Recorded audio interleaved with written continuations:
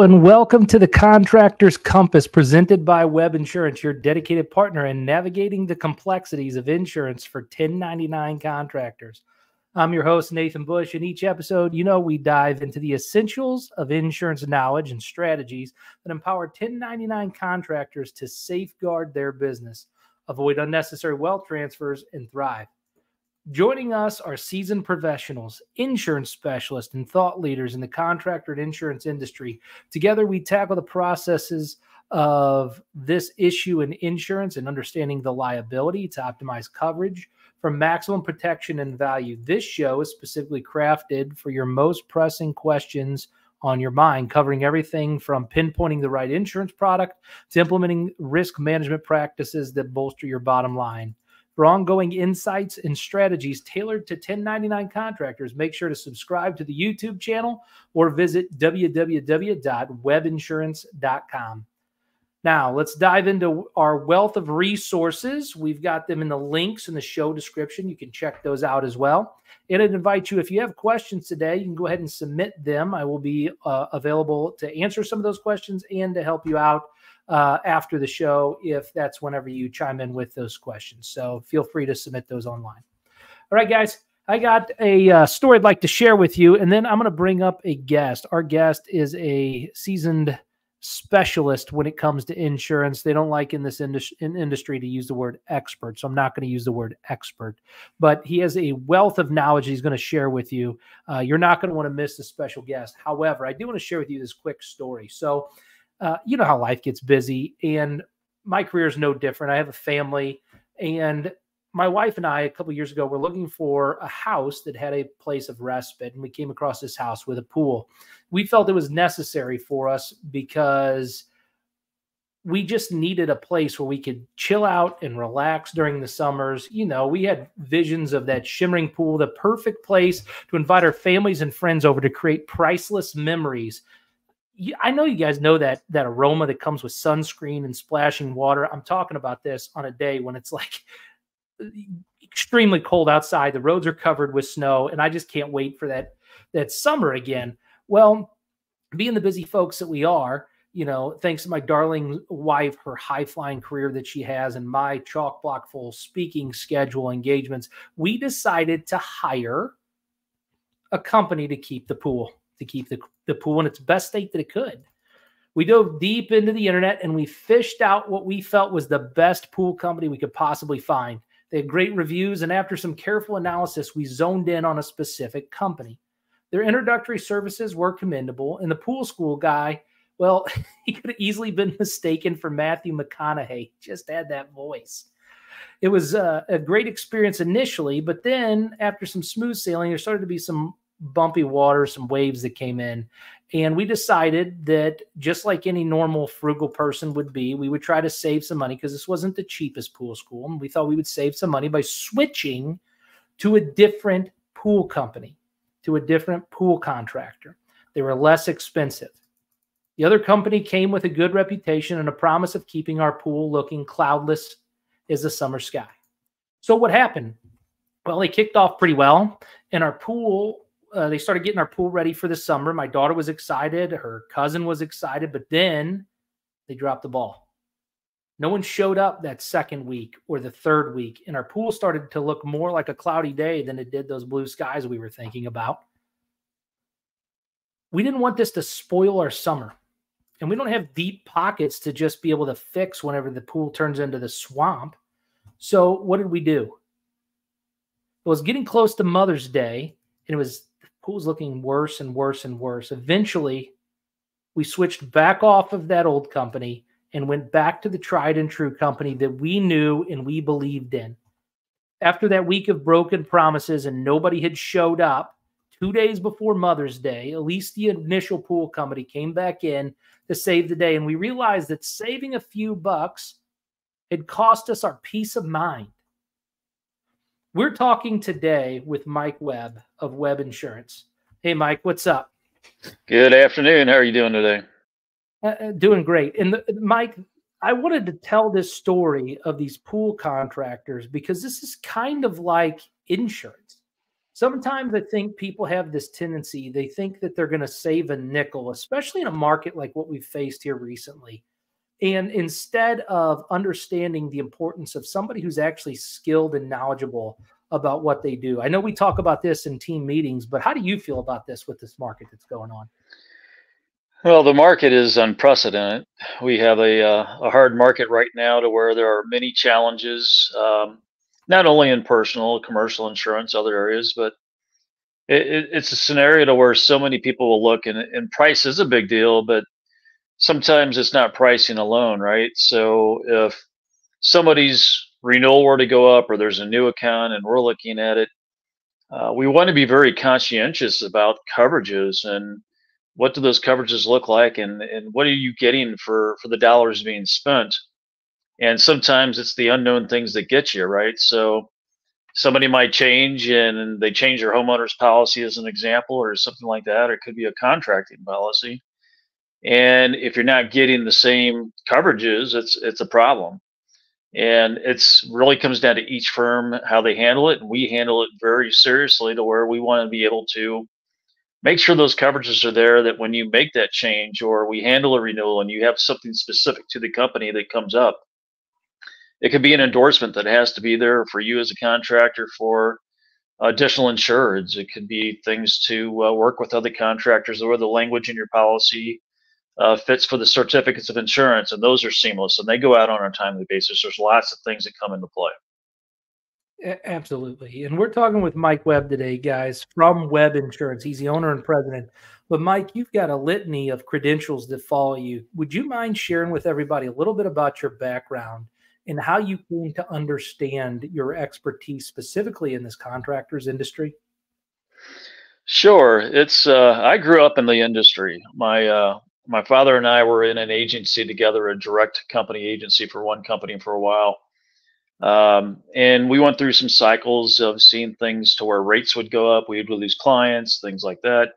So we started pursuing the independent channel. Uh, so that's when we, uh, you know, got set up into an independent insurance agency. We look at that. We look at the, you know, how we handle things through the other companies we're trying to really set this up on an independent basis because if we're doing that, we're really looking at the best interest of the client because we're taking care of you.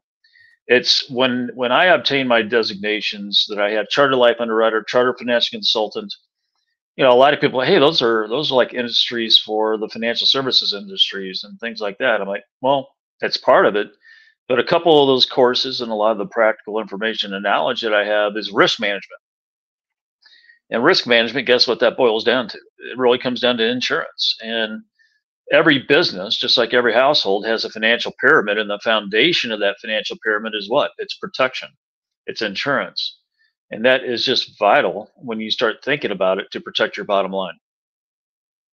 Yeah, that's extremely interesting. And your background and credentials are I, have not come across anybody in the insurance industry that has your level of understanding of not only the wealth management piece but the risk management piece. And so uh, it, it's important because when we talk about contractors and we look at a contractor's business, whether you're a general contractor or whether you're a real estate agent and you're a contractor, there are certain aspects of your financial plan, of your risk management that have to be looked at in order to make sure that we don't have major wealth transfers that happen. We'll talk a little bit more about wealth transfers on this show. But one major wealth transfer that I have seen in my life is this movie Money Pit. Have you ever seen this show before, this movie before, Mike? Yes, I have. In, in the movie Money Pit, it just goes to show you that anything that can go wrong will go wrong if you don't have the proper protections in place. The you know the famous quote is this house is a disaster, but it's got potential. Well, sometimes insurance policies have potential, but they're really a disaster. And people keep putting money into bad insurance policies when they don't really have the proper protection. I remember talking with you a couple weeks ago, and you were sharing with me a story of some gaps that you had saw that were in a insurance policy and how there was tremendous exposure for that business that you were talking to. Would you mind sharing with me again kind of the details of that so it can remind me as we get into this conversation?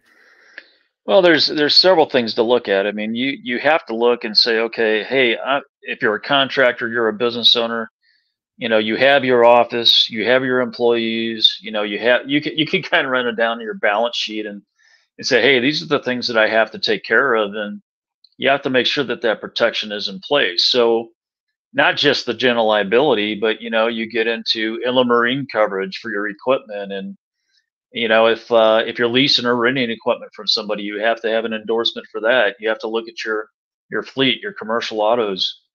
Um, you know when you when you start stacking up all the coverages and say do i have what i need? You know there there's sometimes to where we've seen no you don't.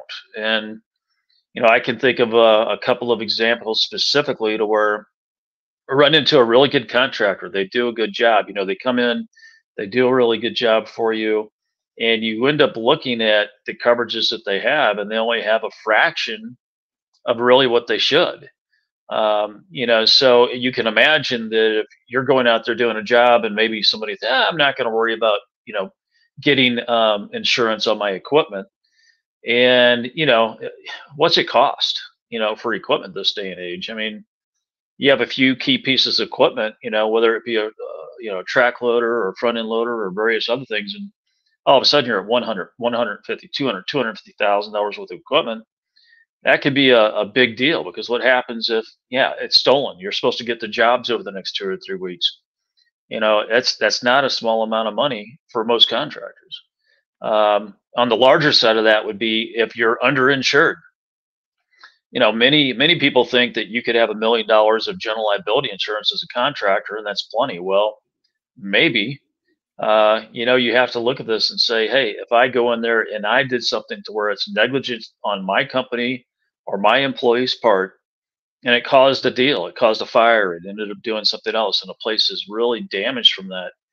What happens if that million dollars doesn't cover it? You know, so that's the kind of in-depth conversation that you know the agent with you know the owner and or the manager of the uh, contracting company they need to really come together to have a good solution.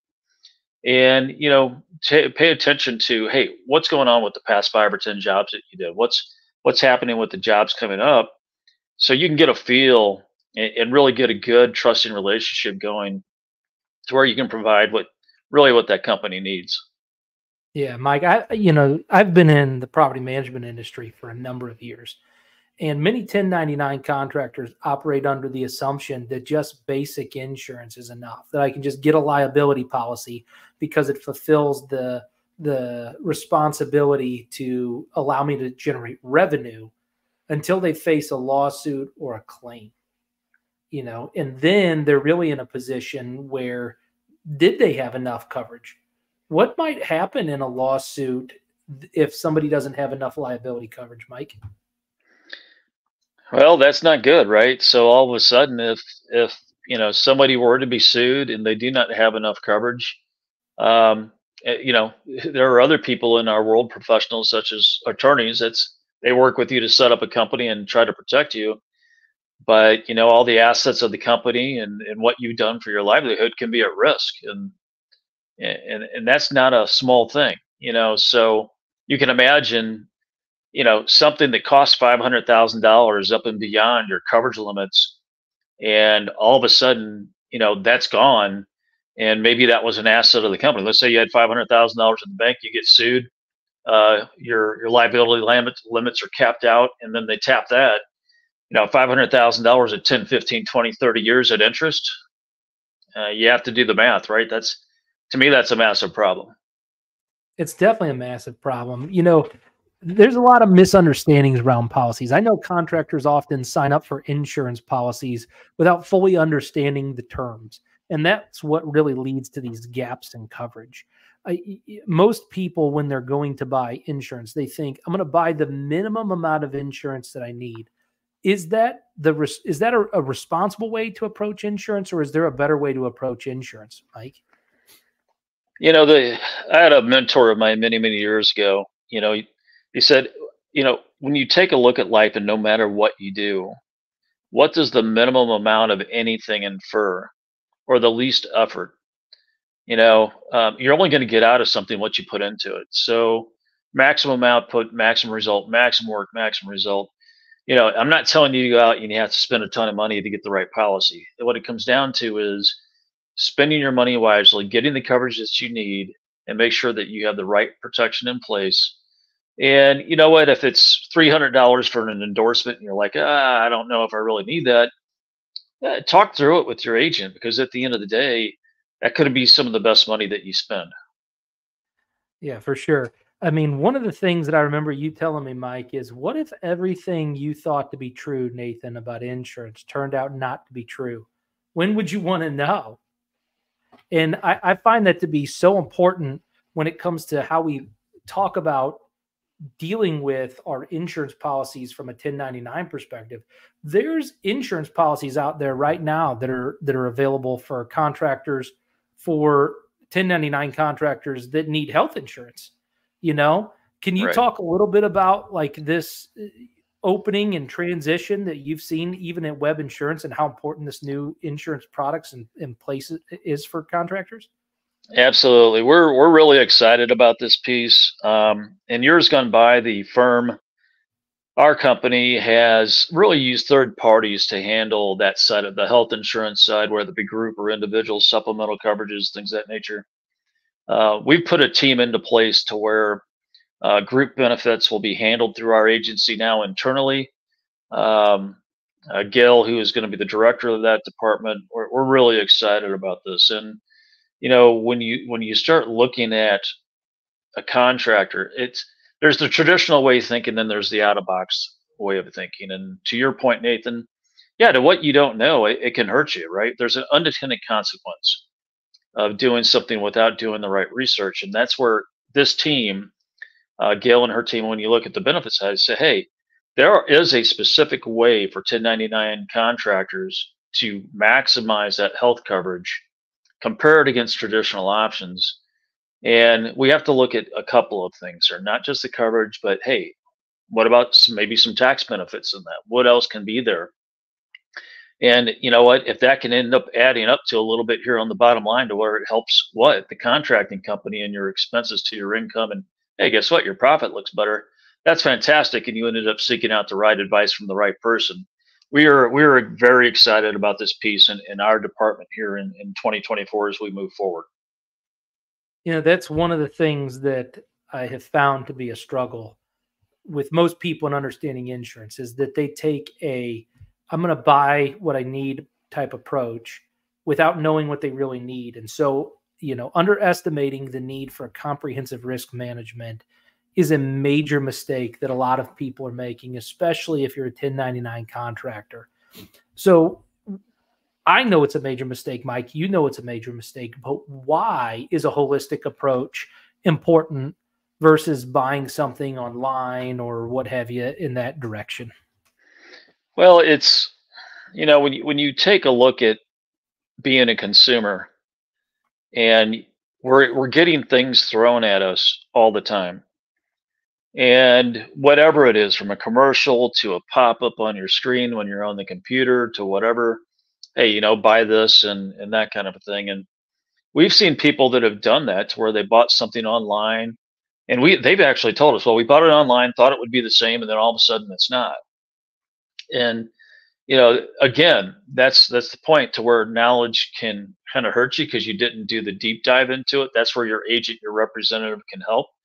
You have an advocate on your side to really help you to make those right decisions. And you know at any given time you know you think about you know open up any bill that you have right? So we all know federal and state tax and there's local tax but every single bill that you have take a look at it. There's usually a tax attached to it and, you know, so think about it from that standpoint. What is the unintended consequence of paying a tax over a long period of time that maybe you didn't necessarily have to pay because you took the time to investigate something, had a professional help you, and say you had an agent work with you from our firm in multiple areas of your company you know what if that can end up dropping you know not just five figures but it could be six figures plus of money into the future into your pocket just by working with us over a long period of time. That's what matters. Um, it's it's really changing people's lives and doing it in a positive fashion. We're here to help people. It's a mission statement. We have it on a plaque in our in our wall here in the you know at the office. uh, one upstairs in the office and one downstairs in the office. We want to everybody be able to see that because honestly, we, we, we do we want to treat people just like the way we want to be treated.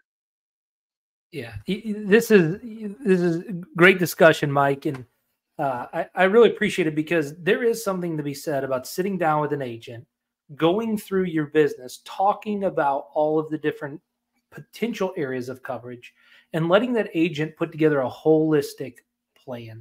And so I'm going to take a second and break to a quick little Webb insurance commercial for those of you that are have been on the the show here for a little bit, or you maybe you're on the fence about Webb insurance. Hey, let a Webb insurance be your guide. They can review your current coverages. They can make sure you have the correct policies in place at the most affordable prices.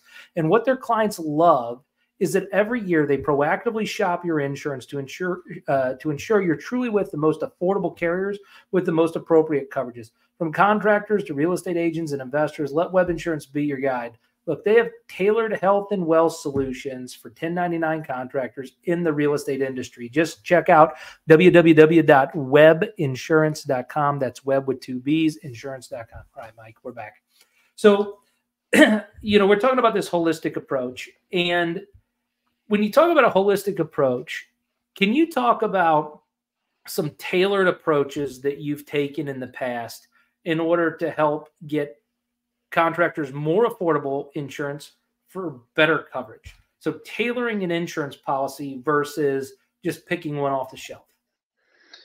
So that's the beautiful part of an independent agency and, and how we approach that. So, you know, I'm not going to be one to name any companies that competitors what have you, but sometimes somebody will have a policy, they come in, you start going over what they have, and it's almost like the previous agent or the current agent that they're working with, you know, they're putting the proverbial, you know, square ball or ball into a square hole, whatever you want to say it, and and that's a problem. And so if we can end up looking and knowing what that company needs, knowing of that industry, right? And that's we do. We we work within multiple industries when we think about coverage. So whether it be, yeah, a contractor, a garage shop, um, a retail shop, so on and so forth, professional services. You want to uh, you want to make sure that when you evaluate where they're at, what they have, what do they need, if anything is is missed, you know, you you know you could use an example of you know what happens if somebody didn't have the right amount of cyber liability insurance and they have a heavy online presence you know that's that's a, that's an issue especially with the growth in technology and the potential threats out there today.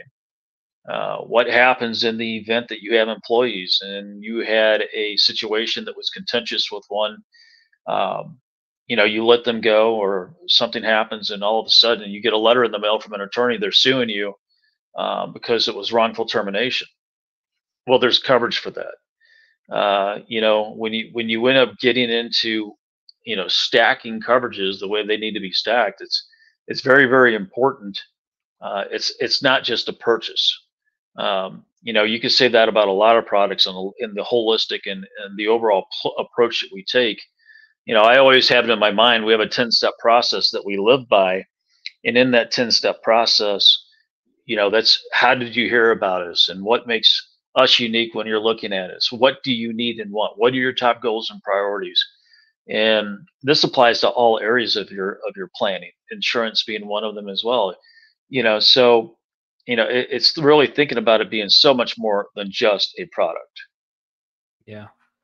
Yeah. And mike so many people too have a tendency to buy their insurance policy and forget about it. I know i you know i have done that with my own insurances. You buy your house insurance or your car insurance and you forget about it. You really want to think about insurance. Once you buy it you kind of want to put it out of sight out of mind until you have to write the check pretty much every month or once a year. But but I think it's important that people dust off those insurance policies and they gain an understanding of what's actually in the policy. Because I know that there's a number of different carriers that, you know, I, we beat them on price and they're still missing certain things in the policy. Can you give me an example of a time where you had a client who was a new client or an existing client that brought you a policy that they had with somebody else and we were able to get them more coverage at a more affordable price. this can happen in a number of areas, you know. So I can I can either look at hey, it's it's the property and casualty insurance policy. So, you know, what I'm talking the general liability or the workers' compensation. I can't tell you the number of times to where on a workers' compensation policy, somebody comes in and they show it to us, and they're carrying some of the basic limits. Um, in other words, a, a level of, of coverage in my eyes that's not enough.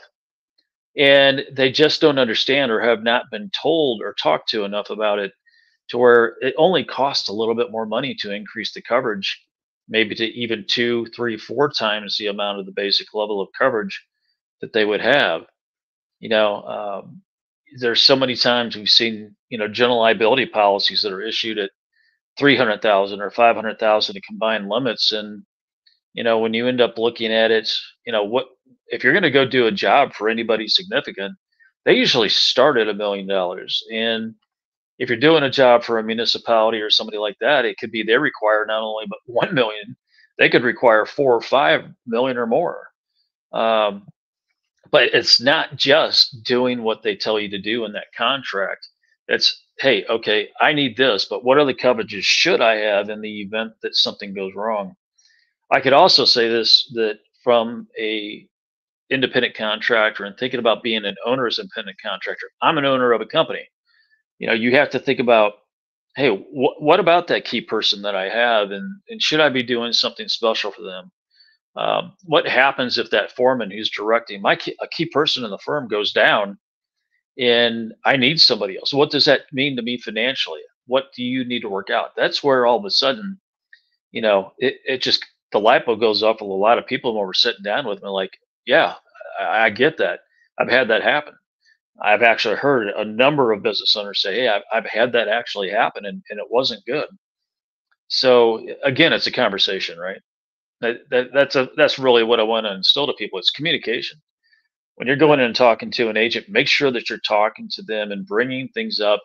Hey, when they ask you, tell me about your company and what you're doing. Get into the detail. Uh, it, it's very important.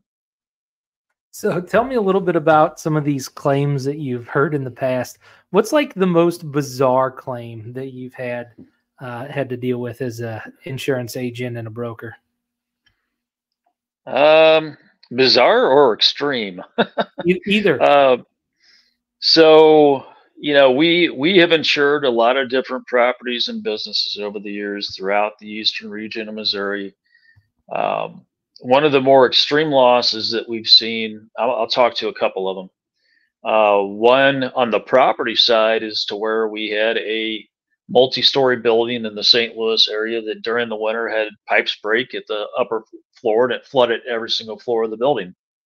Um, the last time, and I'd never really looked at the final on it, but the last time that I, it was 700,000 plus in damages.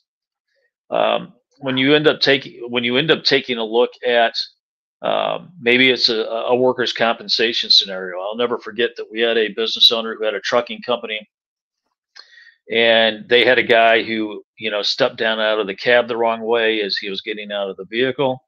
Uh, ended up hurting himself pretty bad. Um, so that you know that one by itself, just on that one incident, was a hundred thousand plus. And then you know the owner finds out. I mean, he actually had that kind of similar injury in the past. So there's another piece of that in the workers' compensation with the state of Missouri called the second injury fund. People have to be aware of. But at the end of the day, when you look at it, actually went on and on and on.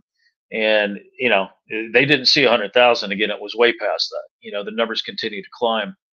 Uh, we've also seen to where um, never forget we had a had a uh, this was on the personal side to where a young driver, uh, single mother, uh, young driver goes around this uh, you know the, the, circle drive and, and hits something wrong and and careens off and hits another party. It was a really bad accident.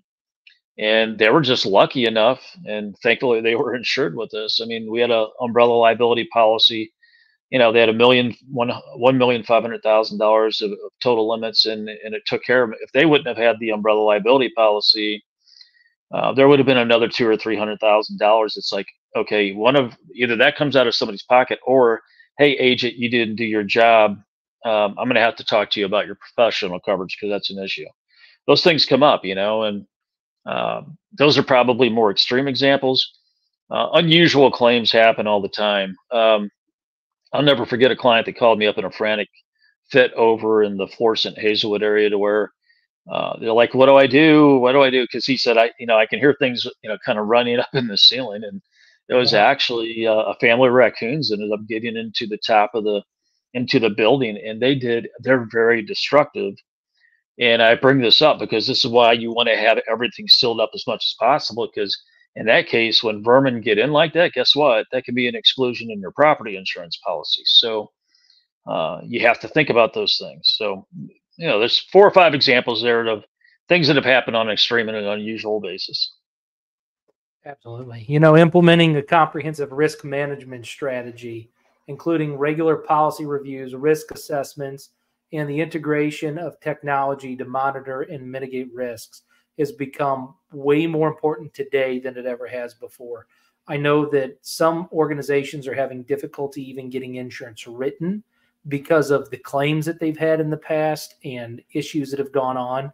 Would you mind speaking a little bit to this whole concept of risk mitigation, annual reviews, and making sure that your your organization is doing everything it can to, to ensure make sure that you're insurable?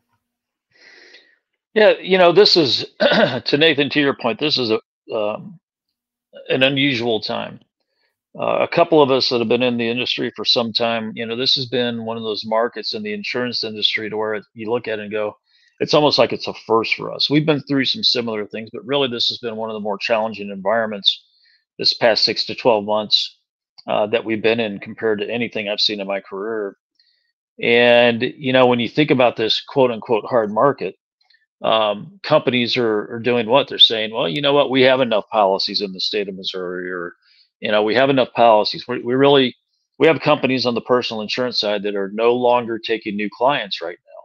We still have plenty of companies that are. But you know what's that tell you? Well the the industry has been faced with some high loss ratio issues the past few years. And when insurance companies have high loss ratios and they're unprofitable for multiple years in a row um, that becomes problematic uh, so it's going to restrict the marketplace down. It's and and so when there's not enough what competition, you're going to get into some of these increased rate scenarios that we're seeing today, to where all of a sudden somebody may have over the past 24 months, they've seen they could have seen a a hundred percent rate increase. You know, they started out at twenty five hundred dollars, they went to five thousand dollars. Um, a more extreme example of this would be in the commercial insurance industry, to where we're seeing um, associations like you know condominium associations homeowners associations to where they're having to make a difficult decision to where hey do we continue to have a master association policy? Uh, we have we have become aware of at least three associations in our area uh, the greater you know st louis area to where they're no longer carrying master association policies so that dramatically changes everything they're doing and every single unit owner that uh, that actually owns uh, a unit in those complexes have to do something differently. Yeah. You know, so it's it's so that's just a couple of examples. You know, it's it, it also comes to light that there's you know it brings back a memory to me on the dis in the world of disability insurance and you might go well how does that apply to an, a 1099 independent contractor well i'm going to tell you i mean if you're the goose that laid the golden egg you better be insuring yourself and you have to think about yourself that way and if you're a business owner, you could have great benefits for the team, but you know, if you're taking good money out of a company, for example, and the company's profitable, doing fantastic, and you go down from a partial or total disability, that's a problem. There have been there have been cycles over the past 25 and 30 years where uh, the, the market for disability insurance companies became so restricted to where only a couple players remained, and it really changed the landscape. We've gone we probably have seen three of those if i think back to probably about 1990 and you know right now there's still some good uh, disability insurance market carriers out there for the various uh, things that people do. Um, but you never know when that market can change and, and some of those historical lessons that we've seen that i've seen you know they're good uh, good lessons to be taught and uh, remember so uh, that really helps our clients out whenever they come in and talk to us yeah i mean Warren Buffett has this famous quote where he says, Risk comes from not knowing what you're doing. And right. you can take some risks by going online to try to get insurance. You can take some risks by working with agents that don't really understand the contractor market. Or you can reduce that risk by going with an organization that understands risk and specifically for you in the 1099 contractor market with Webb insurance. And I'll take a second just uh, before we wrap up here and plug one more time for you to let Webb insurance be your guide, guys. They have tailored health and wealth solutions for 1099 contractors in the real estate industry, and they can review your current coverages and make sure that your current policies in place are the most affordable prices. And what their clients love about them is every year, remember, they proactively shop your insurance to truly make sure that you're with the most affordable carrier for, with the most appropriate coverage. From contractor real estate agents to investors, let Webb Insurance be your guide head on over to www.webbinsurance.com to get a quote from us if you have interest and have a better understanding of your current insurance policy. All right, Mike, this brings us, we're now at about 36 minutes, and we've been talking this entire show so far about risk management. We've talked a little bit about uh, general liability insurance, making sure that you have the right coverage, taking a comprehensive approach. We've talked about the unique aspects of 1099 contracting, how there's specific health insurance products, and how understanding how general liability, workers' comp, and a number of these others, when packaged together, can help reduce and offset costs. We've covered a number of different things in this show, but you have got years and years and years of experience. People are only hearing the tip of the iceberg from the stuff that you've experienced over your career. When it comes to this concept of wealth transfers, and I really want to dive into this right now because this is so critical and so important. With the cost of inflation going, you know, rampant within things, the interest rates going up on people's mortgages, uh, tax bills. I don't, I don't know what's happening with taxes right now, but it seems that some of the tax cuts may expire here shortly. I don't know. You watch politics; they'll come up with different answers on what's going on talk a little bit about this concept and help the audience understand more about how insurance really helps offset some of these wealth transfers. So, wealth transfers, when you think about your family, you think about your business. Anything that takes money out of your pocket is considered a wealth transfer. And either you're knowingly doing that, hey, you know what, you have a have one daughter, you have a couple of sons, for example, and that daughter is going to get you're going to you're going to even give a good wedding, right? You know, there's there are priceless things that typically families will spend money on, and you, you need to, um, you know. And then I'll sometimes make a comment when I'm sitting down with somebody who's just getting to know us. I'm like, hey, you know, if you go down and spend a hundred bucks at QT and you do that how many two thousand times in your lifetime, add interest, what does that up? And did you necessarily need to buy those things? Um, you know things that can hurt you right? So you know some of the traditional ways of thinking um, such as is it necessarily the best thing to do to put most of your money you're saving into a qualified retirement plan? Um, it may not be okay?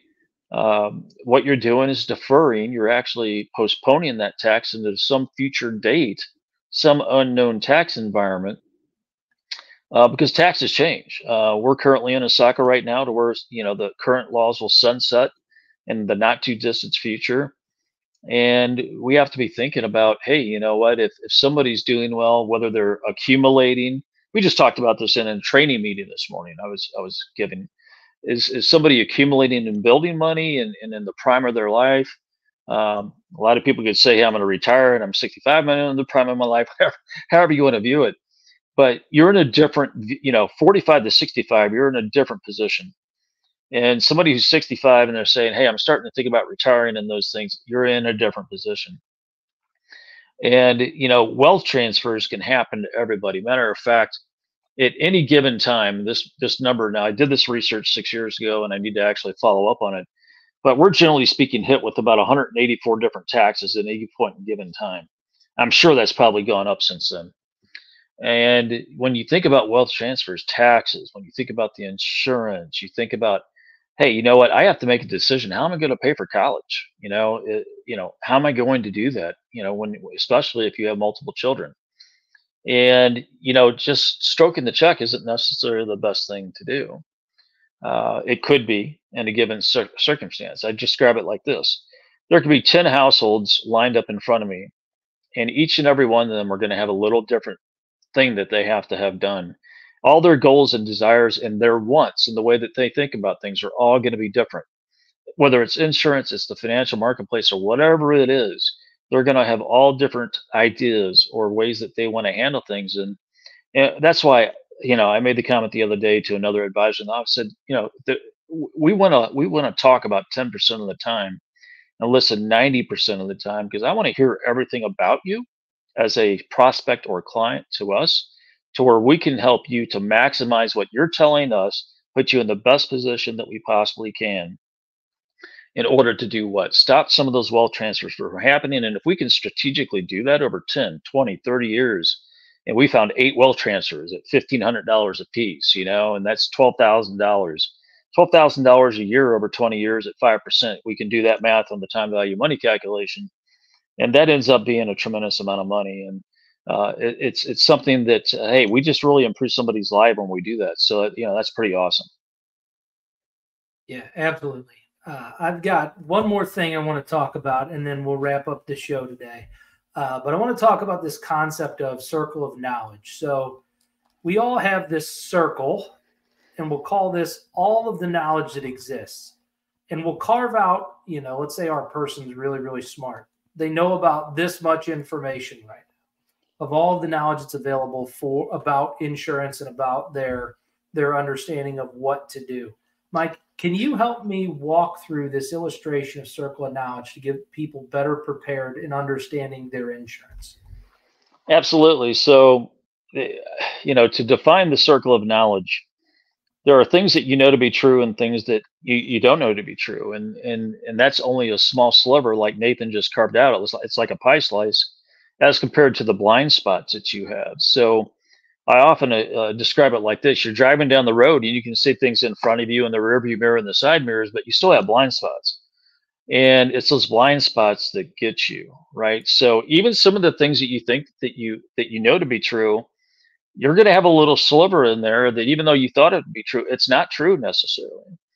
Um, you know, I can say, hey, you know what? If if you're a if you're a surgeon, you know what you're doing, but you, do you know what to do to go out there and, and, and work in something that the contractor can do, such as trenching and making sure that they're putting lines down properly for your electric or whatever it would be? No, I mean you don't. That's why you hire other people to do it. So you know when you see this blind spot, you know, we want to be able to help people with that to really be able to say, hey, you know what, we're, we're taking care of most all those issues. I everybody I talk to, I, I tell you this, you know, and, and this is a big piece of, of, of what I believe in. If I tell you I'm going to get it right 100% of the time, you know that's not true.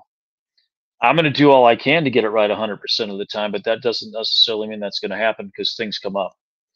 But we do want to help you to understand those blind spots, how to stop those wealth transfers and put them back in your pocket.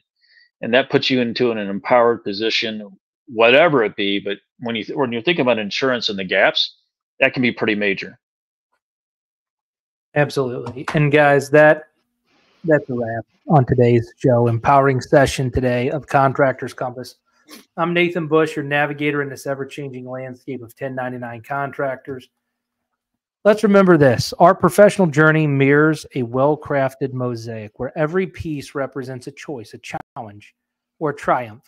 Together, these pieces create a masterpiece of success and resilience and fulfillment.